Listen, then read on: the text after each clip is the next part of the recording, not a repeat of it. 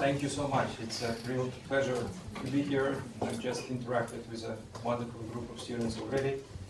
Well, let me, let me continue mostly on the book that Anna mentioned, and I would like to do several things. First, let's talk about the record of Russia's foreign policy and different theories, whether or not they apply to it. Then, what is honor as Russians see it? What are some of the historical cases that you might be able to use? And I'll give a brief overview of six cases, not all cases that I use in the book. And then I will conclude also with implications for understanding contemporary Russia's foreign policy, and understanding Putin's behavior specifically. But let me be brief with theories and simply state what everyone knows, that there are several families of theories of foreign policy. Uh, there is no master variable, so to speak, but multiple explanations that they each apply. There is power and security, emphasis as emphasized by realists. There is emphasis on values and norms as highlighted by constructivists. And then there is emphasis on political and economic institutions, leadership, regime, nature, and that's a more or less accepted liberal theory of international relations. And there are tensions, of course, within each of those theories. There is a debate between aggressive and defensive realism within realism, and there is an argument over domestic as opposed to international norms within constructivism and liberalism. So theories don't really agree with each other, which is, which is okay, which is normal. Let's first take a look at the record of Russia's foreign policy. Unfortunately, the slide is too small, but I'll comment on this and it will become clear what it contains. Uh, the record is such, and I've tried to establish it in the book, is that Russia historically follows three trajectories, three traditions you might call them. One is cooperation with the West in relations with the West. Another one is defensive foreign policy, and last but not least, assertive foreign policy. So first, on cooperation. Russia, of course, historically built relationships with the West, entered alliances, and built institutions with Western nations. It had ties historically with Holy Roman Empire. It joined the Holy League against the Ottoman Empire, as some of you might recall. Then, of course, stretching, moving forward, Peter the Great also wanted to build relationships with Europe. He organized a grand embassy trip to Europe, trying to build relationships against the hegemonic power, Sweden at the time in Europe. Catherine the Great pronounced Russia to be a European power.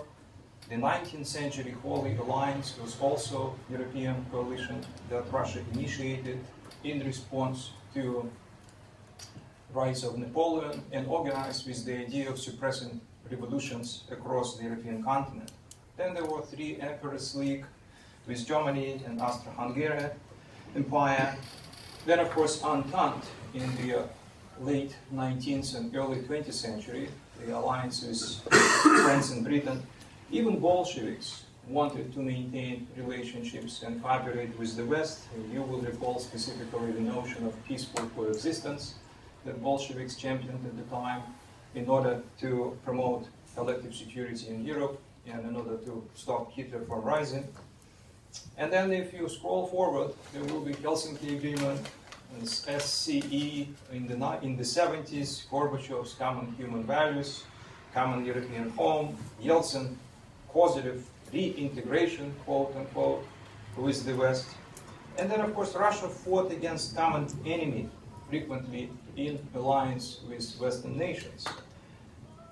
The first northern war against Sweden in 17th century, seven years war against Prussia in 18th century, the, of course the war against Napoleonic France, the first and second World War, all were fought in some coalition with Western powers.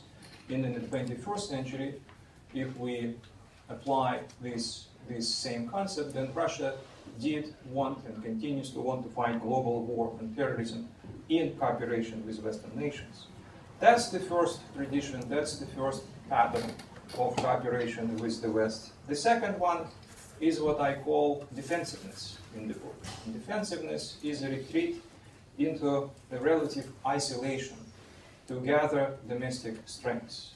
This is when Russia's interests and values are not accepted by Western nations, they are challenged, and Russia does not feel strong enough to counteract. In this case, Russia is not likely to become a junior partner, but Russia instead retreats into relative isolation to gather domestic strengths and then to return to war politics. That's what Russia did, for example, after being defeated by Poland in the early 17th century until, until it revived its assertiveness first by building special relationships with Ukraine in 1654.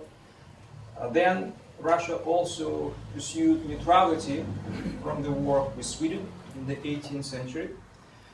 After the Crimean War, defeat in the Crimean War, Russia, of course, was in no position to launch counteroffensive, and it pursued instead what was called concentration strategy, flexible alliances with Western, at the time, British and French uh, governments, and with Prussia and Austria as well. Bolsheviks example is post-revolutionary era. This is when the idea of world revolution was defeated. This is where Stalin came to replace Trotsky and Lenin and said, enough is enough, that is not working, so let's pursue a peaceful coexistence instead. Then, of course, was a pact with Hitler, which also was, was viewed by the Soviets as a defensive policy uh, because they felt that the, the Western nations themselves were negotiating in secret with, with uh, Germany, and Stalin needed to win at least a couple of years before there would be a major war. And then after the war, after the Cold War, Russia, of course, maneuvered between the West and China. If you will recall Evgeny Primakov's reaction to NATO expansion, that was one of the attempts to establish uh, the basis for recovery.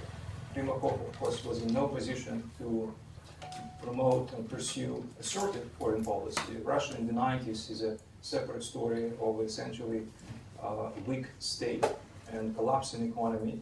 But he was also not willing to join as a junior partner with the West, so he maneuvered between the West and China after the Cold War and built special relationships with Germany and France but at the same time try to build a coalition with India and, uh, and China, unsuccessfully.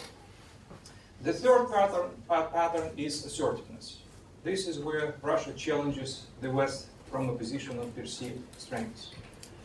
And of course, Russia fought multiple wars, dozens and dozens of wars with Poland, the Ottoman Empire, to secure its long borders, to protect Balkan Slavs in the 17th century. It, of course, defeated Sweden in the early 18th century. It fought multiple wars with Turks before the Crimean War, and after the, after the Crimean War, it again returned to the Balkans. Uh, the Soviets, too, uh, frequently engaged in this, in this uh, type of assertive foreign policy, although one might differentiate between the Soviet type of assertiveness and pre-Soviet one. Obviously, the doctrine of the world revolution ultimately establishing the Soviet, the Soviet responsibility and the Soviet values across the world was one example of this. The Cold War policies of presence in Eastern Europe and elsewhere, Cuban Missile Crisis, the invasion of Afghanistan, these Soviet policies are well known and they certainly were asserted to demonstrate that Russia would counterattack to defend what it sees its important interests. After the Cold War, the best example is Georgia-South Ossetia conflict, when Russia intervened against US wars, and more recently, of course, the Ukraine crisis and Russia's intervention in Ukraine is in many respects continuation of the same pattern. So what can we do with this record? I asked in the book. Can we use these families of theories to make sense of it? And the first thing to say here is that they are limited. Each of them are limited in some respects. Realism says that foreign policies of major powers are rarely cooperative. Sometimes they cooperate, they call it bandwagoning, but temporarily and for the purpose of balance. Why? Because it's hard for foreign, for great powers to cooperate with each other. They have their own distinct interests. And so balancing is more typical. And foreign policy is either defensive or assertive. Only weak powers would cooperate really in uh, realist vocabulary. And of course, these assumptions and this logic runs into problems with Russia. For example, it's hard to make sense of Gorbachev as an overseer of strategic retreat, as realists classify him, rather than a visionary, someone who was driven by certain ideas, by certain beliefs, certain visions. And there are other cases that realism underestimates and prefers not to notice. In his book on great power politics, John Mearsheimer, for example, completely neglects the case of the Holy Alliance. When Alexander I initiated the idea of wide-ranging cooperation in Europe, and when he withdrew from Paris after defeating Napoleon, he did not stay in Paris, but withdrew and proposed a new arrangement, a new institutional arrangement. Realists at the time expected him either to form European hegemony, to become essentially another France, or another Sweden, or to move into splendid isolation. Realists inside in the Alexander I court recommend, recommend, recommending such steps. Nevertheless, he did what he did. He withdrew and formed a very expansive Holy Alliance. So realism is limited. And so, so is liberalism. Liberalism typically says that foreign policy of Western powers are cooperative if the West is a good example, if the West is institutionally strong, then ultimately they will cooperate. There might be some resistance based on their own cultural and political institutions, and they, it may not be as successful if the West does not pose a good example. But in principle, Russia will cooperate. If Russia is not strong enough, and if the West is a powerful example, powerful set of institutions, then Russia will come around. This is what we often hear, not just from academic liberals, but also from Western media. Putin is bluffing. He will ultimately have to settle for what we have to offer. There is one quote from Vice President Joseph Biden, public statement several years ago. The reality is that Russians are where they are. So there is the implication that Russians will have no choice but to agree to work with the United States. They have a shrinking population base, they have a withering economy, they have a banking sector structure that is not likely to be able to withstand the next 15 years. They are in a situation when the world is changing before them, and they are clinging to something in the past that is not sustainable. That's a very common thinking, very common thinking uh, by, by uh, uh, US politician who probably was schooled in some respects in liberal, uh, liberal assumptions. But as realists would say, a classic realist once said, his name was Clemens von Metternich, Russia is never as strong as we fear, but it never is as weak as we hope. So Russia's capabilities may not be as strong, but Russian leaders sometimes believe they are strong enough and they act as if Russia was a global power, and that makes a difference in foreign relations. The recent the uh, recent developments, not just the way Putin acted in Ukraine, but if you scroll back to Syria initiative, Russia's assertiveness with respect to the Middle East, also demonstrate insufficiency of this thinking, of these assumptions. And then, if you recall the so-called reset era under the previous president Dmitry Medvedev, it did not go as far as President Obama expected It did not go as far despite Russia's weakness. Russia certainly suffered greatly from the global financial crisis, lost 9% of its economy, and Medvedev quickly lost the confidence that he had. But at the same time, Russia refused to comply with most of Western institutions and human rights pressures at the time. And so the question whether sanctions will work is, is an important one, it's very unlikely that these sanctions pressures are going to make a difference unless we understand what Russia's behavior is. So there are some restrictive assumptions, restrictive rationalist assumptions that both realists and liberals make. And I think constructivism has some promise in this respect to remedy for the weaknesses of these assumptions. There are different approaches in constructivism. One of them is associated with a scholar named Alexander Wendt, and that one emphasizes mostly external influences, informal and social influences, and others, like Ted Hopf, emphasize domestic values, habits, um, and social influences. Constructivism has promise because it is more sensitive to domestic values, domestic approaches and traditions, but it is also incomplete. It is incomplete because it frequently refuses to engage with power. It is not, it is not fit to take into consideration some objective indicators to discuss the power of the international structure. So it's insufficient uh, overall. What I've tried to do, I've tried to integrate some insights from constructivism and from realism and build a synthesis, if synthesis is possible. Probably not a synthesis, but some combination. And I introduced uh, uh, the approach that has three concepts, three notions, and I'll discuss those in a minute. But I should say that I'm not particularly interested in individual decisions. I'm more interested in strategic outlook of foreign policy elites. I'm more interested in how Russian foreign policy changed from one state to another, from assertiveness to cooperation, and vice versa. And that's where I find these three concepts helpful. These three concepts are vision, confidence, and recognition. The VCR, not, the video cassette recorder, but vision, confidence, and recognition. So vision is simply complex of ideas and values that guide nation in foreign policy. It's not a variable. It's something that helps us to discover the context in which foreign policy takes place.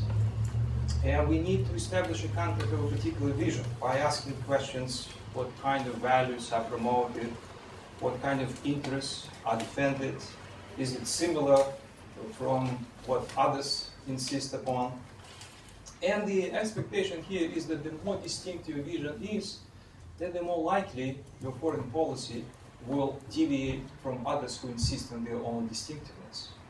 It's important because it has the context in which decision making takes place and because national interests are not objective. They usually are formed by distinct values, distinct identities. And realism, of course, assumes that Russians want power or status or security. Liberals assume that Kremlin wants somehow to increase domestic power among different factions. But they don't really ask why Russia wants power. What does it mean to the Kremlin to have it? What is it going to do with this power? And what identity leads to this power? And so that might become a problem. And from my work, I found that this actually becomes a problem with interpreting, for instance, the case that I already mentioned to you, the Holy Alliance. Again, so many people expected him to become the European hegemon. This is what so many people are afraid of Russia trying to do now, to become the next hegemon, at least in the Eastern Central European space. But the answer is he didn't because he believed in Christian autocracy. He believed in values of Christian autocracy at the time. It wasn't about status or power only for him. It was the right thing to do to withdraw. It was the honorable thing to do, as he himself put it. And the honor in this context is the self dignity and moral commitment to the relevant social community, in his case, to Christians, not only to Orthodox Christians, but to Christians in general, to the European Christians. That was the honorable thing for Alexander I, and for many Russian czars, honor had to do with Eastern Christianity specifically, and with the idea of politically dominant and socially responsible paternalistic state as well. That concept too has roots in Eastern Christianity. So that's one concept. The second one is confidence. This is where we need to understand Russia's perception and self-perception of strengths specifically. How strong, questions to ask here is how strong or weak Russia is in the perception of its leaders. What vulnerabilities and strengths these statements, political statements, might reveal. And again, alternative approach here is to say, well, Russia is objectively weak. Look, its GDP is not growing impressively. It has other limitations. Power capabilities simply are no match to our American power capabilities. And that's something that has been uh, quite common to here in the, in the Western political circles, that Russia simply is no match to, to us. Uh, what makes a difference, though, is a perception rather than reality in this case. If Putin feels strong enough, then he will act assertively, even though objectively his economy is not as powerful as you might think. So the stronger this perception is, the more active or assertive foreign policy will become. I already gave you a couple of examples. Alexander is one. Putin's assertive foreign policy is shaped by his perception of Russia as effectively rising power rather than declining power. Because he came to power, as you remember, 15 years ago when the economy was not functioning, was Russia was uh, was um, uh, really shrinking, and the economy and the uh, political classes were redividing the country. So he feels that he has accomplished a great deal over these years, and Russia continues to grow and will continue to grow, and it has to be aggressive in defending its interests. So these are subjective judgments, and of course there is a possible error of judgment as well. We might recall how Stalin, for instance, overestimated Soviet strengths and overplayed his hand all in World War II. So this is something to be mindful as well. And the third concept is recognition. Here we are describing how much, to what extent Russia's interests and values are accepted abroad by an important, meaningful social community. Usually, historically, this community was Europe, was the West. Today, the situation is changing. Russians are more and more interested in what reaction their actions will generate in the non-Western worlds, in China, and in other Greek, BRICS nations. Why? Well, because the West today, in the eyes of Russian politicians, is certainly less powerful, less Christian, and less respectful of Russia's values. So that's something that makes a difference as well. And one might explain why Putin shifted from being essentially accommodative in the early 2000s to becoming assertive by this idea of recognition, because the West, uh, uh, up, and, up until recently, has declined recognition that Putin sought of its interests and values. Let me say a few words about honor, this idea of honor, the myth of honor, if you will, as Russians use it, what it involves. Am I going until one? Mm -hmm. Okay, so I have another 15 minutes. The definition that I gave you is that it's a system of values and beliefs that expresses state dignity and commitment to relevant social community. And in Russia's case, the structure of Russia's honor, I try to give you a sense of it here, is that it includes two components, external and internal. The external component, of course, has to do with Europeans, with Westerners of Russia. The West, Europe especially, has a very particular, very significant meaning in Russia's psyche, so to speak, in Russia's system of value. It's about belongingness to, with Europe and obligations to Europe. It's about um, commitment to Europe as well. So in this case, honor is translated as um, loyalty. And Russia, of course, has centuries-long experience in diplomacy and search for multilateral solutions with Europeans. And it's about values as well, that Russians continue to believe unite them with Christianity, stability of the continent, respect for sovereignty, great powerness. And Russians, of course, have very vocal pro-Western and pro-European group at home, with very deep emotional connection especially within the elites. And there's also internal component to this, distinctiveness component. It has to do with Eastern Christianity, rather than simply with Christianity. Russia builds on the legacy of Byzantium rather than the, the uh, Catholic. Byzantium, of course, fell to the Turks, and so Russia feels that it, it became a stronghold of Eastern Christianity. It has, as I mentioned earlier, this commitment to social majority and paternalistic state, and it feels that it has obligation to protect cultural balance. And it has particular effects on foreign policy. This notion of honor can be translated into variables. First, if the West perceives Russia as a legitimate partner with legitimate interests and values, then you're likely to expect cooperation, cooperative foreign policy from Russia. If, of course, this recognition is withheld, then we will have either defensiveness or assertiveness. That's a simple matrix that uh, summarizes these hypotheses and expectations. So if you have recognition, you will have some degree of cooperation. On the other hand, if you don't have recognition, then Russian foreign policy may fall into one of those two categories. It will be defensive when Russia feels weak, and it will be assertive when Russia feels sufficiently strong. That's roughly what I have done in this book as well. So this is a these are the cases, how you can place them along these criteria and these categories. You have multiple cases of cooperation, triple alliance, collective security, with terrorism, and moving forward towards the so-called reset and modernization alliances. This is how Medvedev formulated Russian foreign policy. And you also have cooperation when Russia is strong, and that's mostly following Russia definitively was the power presiding in the Vienna Congress following the Napoleonic era. And defensiveness here, I have cases from pre-Soviet, Soviet, and post-Soviet era. That's how I selected those cases. I wanted to have some historical continuity and pick one case from each of these eras.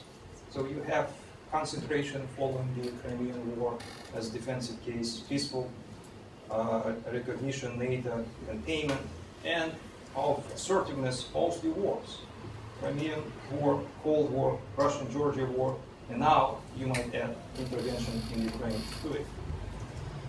So very briefly, that's where we are, that's where the cases are, and if I can comment on some of these cases. And Holy Alliance, of course, was a case of cooperation.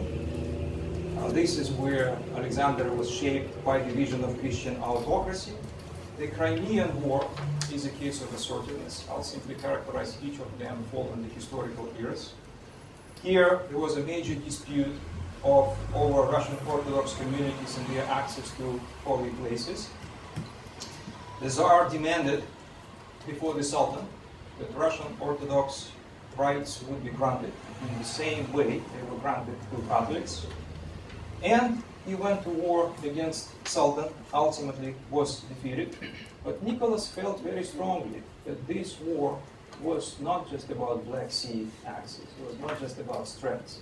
It was also about defending co-religions.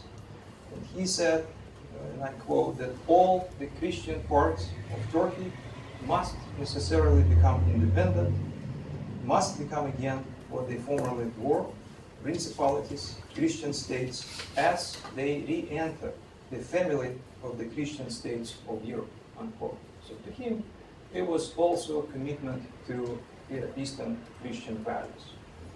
Then, of course, he was defeated, and Russia uh, a new era of defensiveness as a defeated power. It went into relative isolation from European affairs after the Crimean War. It did not actively supply troops in Europe everywhere, and it built flexible policies with respect to France and Britain on the one hand, and Prussia, ultimately Germany, on the, on the other. Why? Because of this treatment of uh, Russia as a defeated secondary power by Europeans, and because of low confidence. As we said, confidence makes a difference. Russia was in no shape to pursue assertive foreign policy. And then post-Soviet cases, the war with terrorism. These are the cases that we're more familiar with. The cooperation based on the threat to Russia from terrorism. Russia reached out to the United States, as you remember, after September 11th. It pledged all kinds of resources from intelligence to supporting military bases in Central Asia for fighting terrorism. Why? Because the West too was very much willing to cooperate at the time. Because Russia, of course, had its own problems with terrorism. And ultimately that triggered this concept of cooperative honor. George Bush very prominently recognized Russia as a partner, partner that suffered from the same evil of terrorism. He engaged Russia into all kinds of discussions about future membership in NATO. At the time, as surprisingly as it may sound today, NATO Secretary Lord Robertson supported Bush in this vision and advocated the idea of giving Russia a status equal to the alliance 19 permanent members at the time, including veto power over central decisions. And of course, domestically, Russia had its own problems with terrorism in the Caucasus. Um, to give you just one example, in August 1999, Chechen rebels led by Shamil Basayev and Arab fighter Khattab occupied parts of the neighbor, neighboring Republic of Dagestan. Bombs exploded in Moscow, killing hundreds of um, residents at the time. So this is something that triggered a new expectation and a new concept that actually wasn't that new. Historically, it was already established. What I think realists don't get here, and realists usually emphasize rationality again, most common realist explanation here is that Putin was weak. Russia was weak, and so it had to cooperate, as we said. But it wasn't really so rational to many Russians at the time. Only 15% of Duma members supported Vladimir Putin's direction. Many in the army did not support this direction. So Putin took a personal risk at the time. Many recommended to the Kremlin to strengthen ties with China and non-Western states, and certainly not to allow any space in the middle, in, the, in the Central Asia for U.S. military bases. Then NATO story is a story of defensiveness. Let me skip this one in the interest of time, and I'll be happy to comment in the questions and answers time as well. And then, of course, assertiveness, Russia-Georgia war, escalation in Russia-Georgia relations, after attempts to cooperate with, with Georgia following the so-called Rose Revolution, the Ajari crisis, and ultimately escalation, spy scandals, sanctions over Georgian wine, recalled ambassadors, um, you name it, all the, all the developments of diplomatic confrontation, ultimately military confrontation in August, Russia's defeat of Georgia, and recognition of North Ossetia and Abkhazia. Why? A lot of it has to do with Russia's ignored concerns in the Caucasus and with Russia's internal willingness and ability, in this case, to act on its interests. Those concerns had to do with security, had to do with NATO expansion, had to do with the determination of the Bush administration to give MAP, Membership Action Plan, to NATO to both Georgia and Ukraine, they had to do with other security policies that were pursued by Western nations in the Caucasus and in Europe. That, that was one of the red lines that Russians uh, drew very quickly, and they felt that at this point they had to act on this. Again, common account is that Russia simply wanted to dominate the region. that's a common realist thinking in this case. Again, if you listen to John Mearsheimer, then the idea of regional hegemony is what ultimately drives Russia. But it is also important to emphasize that Russians felt necessary not just to deal with NATO expansion, but also to protect small nationalities in the Caucasus. Those who, were, who wanted Russia for Russia's protection for, for years. Uh, Ossetians, Abkhazians did not see Russia as a pigeon, did not see Russia as the biggest bully in the world. They saw Georgia as the biggest bully in the world because Georgia in the early 90s engaged in these policies, policies of uh, Georgia for Georgians. This is how the destabilization of Georgia began. And Russia only later somehow contributed to this. So now was the time, combined with uh, security imperatives to react and somehow to extend protection to small nationalities in the Caucasus. And that aspect of values, culture, plays a role as well. Since I have uh, only a few minutes left, let me talk about implications of this, of this uh, idea of honor understanding contemporary foreign policy. And then we can, we can elaborate in questions and, and, and answers. What would be the direction of foreign policy, Russian foreign policy for Vladimir Putin today? Uh, is the very important question, right? This is already Putin 3.0. We have had Putin 1.0 and then another assorted Putin and then the third uh, recently elected president. And clear, it's not going to be, at this point, it's not going to be defensive foreign policy. Uh, it's possible that there would be elements of cooperation, but at this point, clearly, it's assertive foreign policy. If we are to follow this approach, we will need to make sense of his vision, he would need to make sense of his sense of confidence, his perception of confidence, and we would need to analyze the uh, recognition aspect as well. What extent the West is planning on, or willing somehow to accommodate Russia, to meet Russia halfway. Russia's vision at this point is still work in progress, but we already hear a new a new distinct language of Russia as a civilization, Russia as a nation with distinct values, distinct cultural self-standing. If I am to quote from Vladimir Putin, there is one meaningful quote. If, he said in one of his State of the Union speeches, if the nation loses vital references and ideals, it does not need an external enemy, because it will fall apart on its own possibly by being pressured by the West on human rights reasons, Putin has rediscovered the need to reveal the system of values as well. Russia is currently presented as indispensable in stabilizing world order, as a nation that is not only European but Eurasian, as a nation that has established its own historically sustainable system of values. And increasingly you hear the language that Europeans and Western countries themselves are failing on values account. They're not as Christian, they're not as respectful of traditional values, and we will stand firm because these are our values. So that's the vision, and we can elaborate on this. There is quite a bit coming out from the Kremlin on, on this notion of new Russia civilization at this point. Second one is also interesting, and that's confidence, another known unknown. And it's a challenge to get it right, the uh, notion of confidence. There are different sources of confidence, not just economic success, military success, it could be uh, victories, the sense of, again, of that sense of accomplishment that Putin certainly has uh, as president. Uh, even sport victories, right? Russia had extremely successful uh, Olympiada and then Universiada only last year. Very impressive.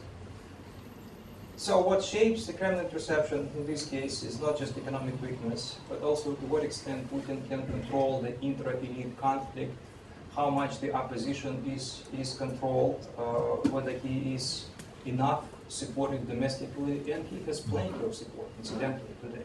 More than 80% of the Russian population strongly behind Putin.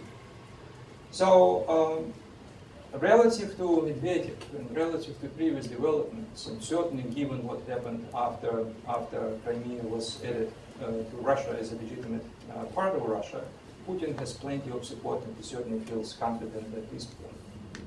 And that means that the last variable, the last, last concept, is really making all, all the difference. Recognition. Known, unknown, number three. Getting it right is somewhat easier and recognition, of course, is a, is a concept that needs to be spelled out as well. There are different degrees of recognition, different types, diplomatic, foreign policy, sanctions, power, influence. And the simple characterization is that it's lacking at this point on the Western part. Russia's security concerns include missile defense system, stable Middle East, stable former Soviet Union, and it's also about Eurasian Union and Russia's ability to engage into meaningful economic relationships with Ukraine that is not a member of the European or the Eurasian Union. This is how it all started, as you remember, last year. It's also about values. Russia certainly is not a liberal democracy. It's rather an attempt to rebuild a strong state model. And that's the model that is absolutely essential for Putin, for, for the Kremlin. That's not the model that the Kremlin is going to give up and some, somehow to return to the 90s. That's out of the question. And the more you pressure on Ru- Russia on this one, the more likely you hear you hear a opposition, the more likely you will have assertive foreign policy. The language that sometimes is used that Russia is engaged in despicable foreign policies on the wrong side of history also the languages that are not read by the Kremlin as extended recognition. Just the opposite, right? And then, of course, sanctions too, in this context, are likely to be counterproductive. They will make a difference in the sense that they will undermine Russian economy. They will undermine Russia's connection and dependence on the West. But they will not achieve what they are meant to achieve by, by being introduced in the first place, which is compliance with Western foreign policy priorities, particularly in Ukraine. So, um, in some, in many respects, that means that means that in the next five or ten years, unless we will have uh, a, a willingness and attempt to engage in a meaningful dialogue with Russians, all its interests, all its values, we will have more assertive foreign policies. I will stop here. Thank you.